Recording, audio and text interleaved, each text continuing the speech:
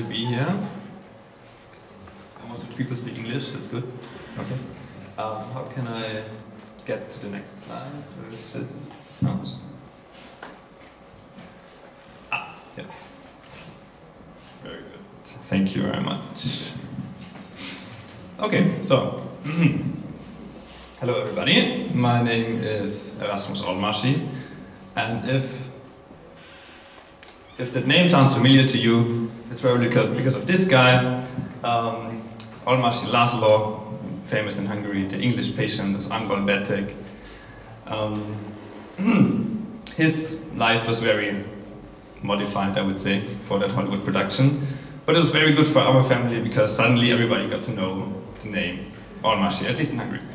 And in the United States, but the movie came out in 1996, so that was a long time ago, and um, we don't really profit from that anymore. It's, it's too long ago. Um, I will tell you the story of the Almásy family, just a little bit. This is Bernstein Castle, Borostyánkő, and this is the place where Laszlo was born. My sister and I were now the sixth generation of Almásys that run the place, and I will talk about the challenges that we face today. This is my great great great grandfather, Almásy Eduard, and he bought the place in the year 1892. And how did he run the place? Well, firstly, um, back then the Almásy family was incredibly rich, which helps to maintain a castle. And the other thing is, as we there, there were a lot of forests, um, land, farms, and he uh, established that side on the right side there was the Styrian Jade Company. It's a special green stone that can only be found there. And they were producing all sorts of things, trinkets, earrings, and stuff. That was what they produced, this is what the family lived off.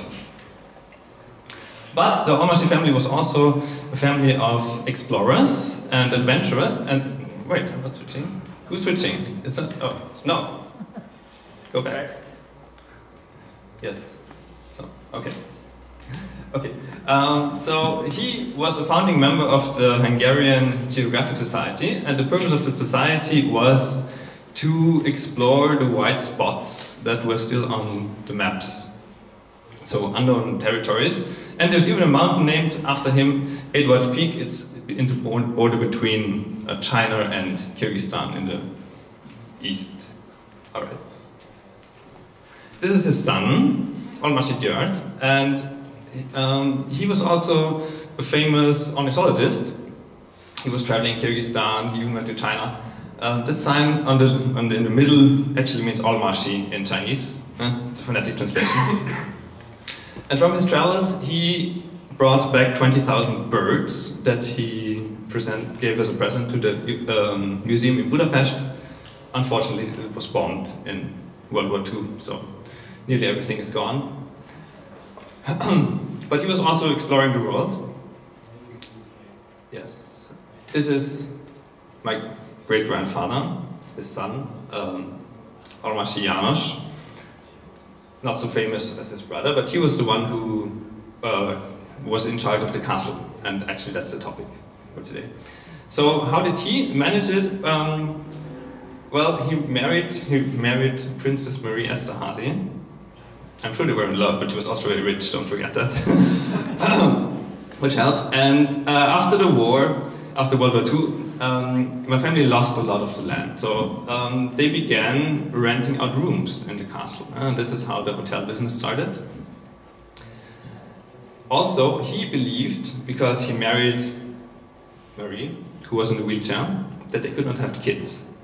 And so they spent his money freely, because he always believed, I'm the last one, yeah? who should I save the money for? Nobody will come after me. And then this happened. Uh, there's another slide, this is his brother Laszlo. There's uh, a picture of him in the, in the courtyard of Bernstein Castle as a young man. And he was a chain smoker, by the way um, nearly all the family pictures you can see with a cigarette. That was a time when the people believed um, smoking was healthy if you have lung problems. Inhale deeply, it helps. Yes, so um, my great grandfather Janos, he financed all the Laszlo's expeditions. Yeah, that's one, a point I want to make. He thought, I'm the last, I don't care, I, I can't take it with me, um, so why not buy a new plane for Laszlo? Yeah. And then this happened, my grandmother, and suddenly it was, hmm, um, we have to stop doing this. Uh, we somehow need to keep the possessions together. And as you can see, my grandmother, she was uh, also a pilot. Actually, she was the first pilot in Austria, the first female pilot in Austria. What, he, what she did, um, she tried to find new sources of income. She tried to sell Porsche cars to Egypt, together with Laszlo after the war. Yeah? So um, the point I want to make is that uh, you always have to find new things um, be innovative. And if you are a small business, that it's a your advantage. Use your advantages. It did not really work out, but at least they were trying. And it was very adventurous. Ah, this is um, my parents, and in the middle, my parents, they ran the place for 33 years. And on the right side, you can see my sister with her husband. My parents retired this spring, and since then, my sister and I, we are responsible for everything. So, uh, now let's talk about the challenges that we face. One thing is, now we have this great, interesting story, family history, this is all very well, but what's the problem with it? That alone will not maintain the castle. Yeah? You don't get anything just because you have the history. You have to turn it into a product that people are actually willing to pay money for. Yeah? I often have the impression that there are a lot of historic places that have really interesting stories, intriguing stories, but they somehow fail to turn that into a product. So what do we do? Uh, we offer guided tours where we tell the history of the castle, the history of the family.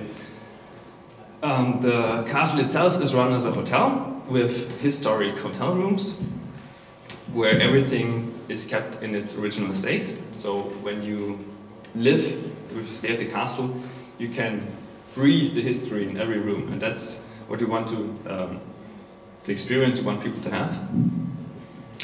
The authentic personalities, because we, the family, run the place and not some general manager. And a point I want to make is um, very important for us. Don't be cheap. We are limited because we have only nine rooms, so we have space for around 25 people. And who are our competitors? Well, we can't compete with the big hotels regarding price because they will beat us. Yeah? They have um, more resources, they can offer rooms more cheaply. So what do we do? We take the fight to a battleground where we know we will win. Yeah? We are not cheap. Um, uh, we, we charge uh, money for, for the rooms, but we are talking to the people in person. We offer this unique atmosphere. We are uh, giving people something that they cannot buy elsewhere, and that's why we can decide the price. If you think about um, running a hostel or a hotel, and you um, want to be cheaper than Hilton, well, good luck with that, because they have uh, really, really good infrastructure behind it, and you cannot beat them uh, with, the, with, with price.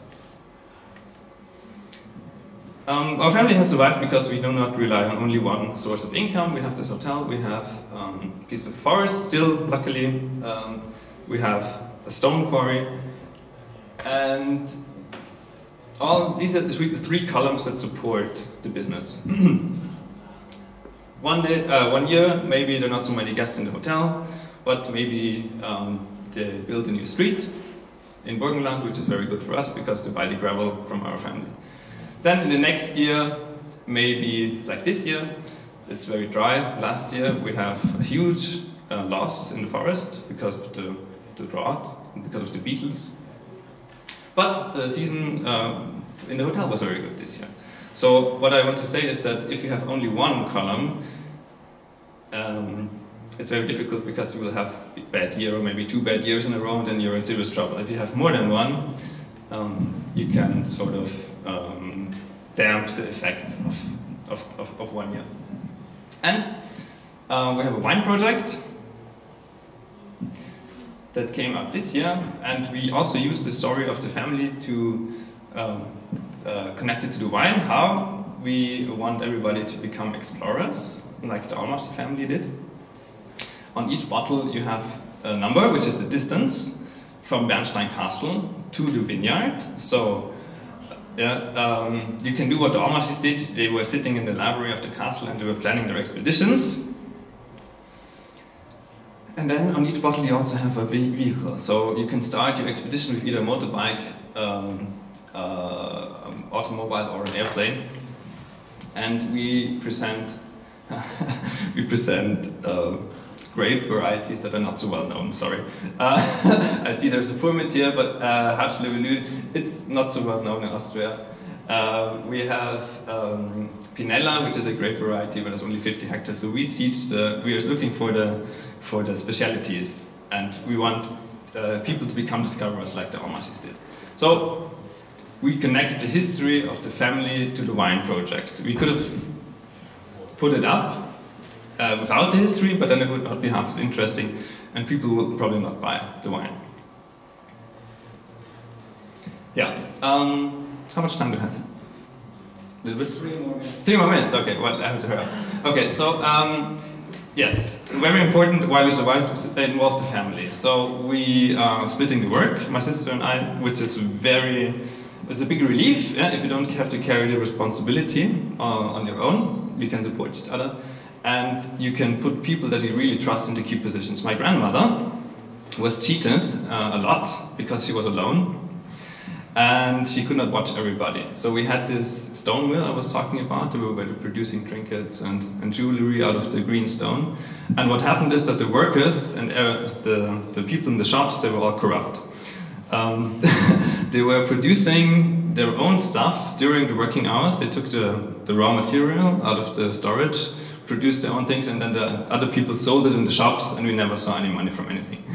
And, but in the end, uh, we had to close the factory because of this. Yeah? So it's very important that you have people that you can trust in the key positions, and if you can fill these positions with family members, all the better. Yeah, we talked about connections, connect with others. We are part of different groups, Castle Hotels and Mansions, Castle Road, um, organizations. Uh, why is this so important? Because if you type in Google um, holiday castle Austria, you will not find us. Maybe we have 25 beds, it's impossible. But you will find this organization, Castle Hotels and Mansions. Uh, and from there, they link to each member. Uh, so you cannot be uh, a lonely fighter today, you have to connect with others. you cannot connect with anybody, you should of course find, find the right people to connect with for example, this is the most important organization for us, castle hotels and mansions, um, houses with history, and um, most of the time privately owned. This is the, what keeps them together.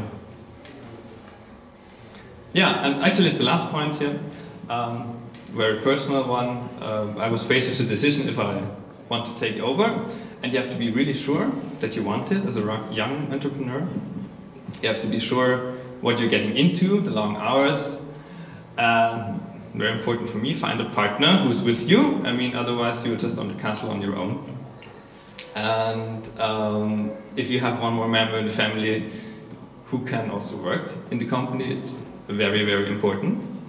And we, um, because we run it as a hotel, it's only seasonal, so it's five months per year, and we work seven days a week. Yes, we're a bit like a submarine crew. we can't uh, leave because we live in the same building. Yes, and it's very important that you create this positive working environment because you can't. Usually, you have an office job. You finish it Friday, you go home. You can't do that. We work for seven days a week for five months. It's very crucial that you maintain a positive environment. Yeah, to sum up, develop a product that people can buy, don't rely on one source of income. Involve the family wherever it's possible, connect with the others. And the last point, be sure that you really want it before you take it. And uh, I will finish on this note that my great-great-grandfather, Olmar Sidiart, the one who brought the birds back from Asia, he was actually skipped in the line because his father said he's not suited to take it over. Yeah? And I think that the people and business will be better off if you don't follow these strict rules of heritage that the oldest son has to take it over, but to be realistic about it. And if, and if, and if there is nobody suited, maybe it's better to sell it. Thank you very much.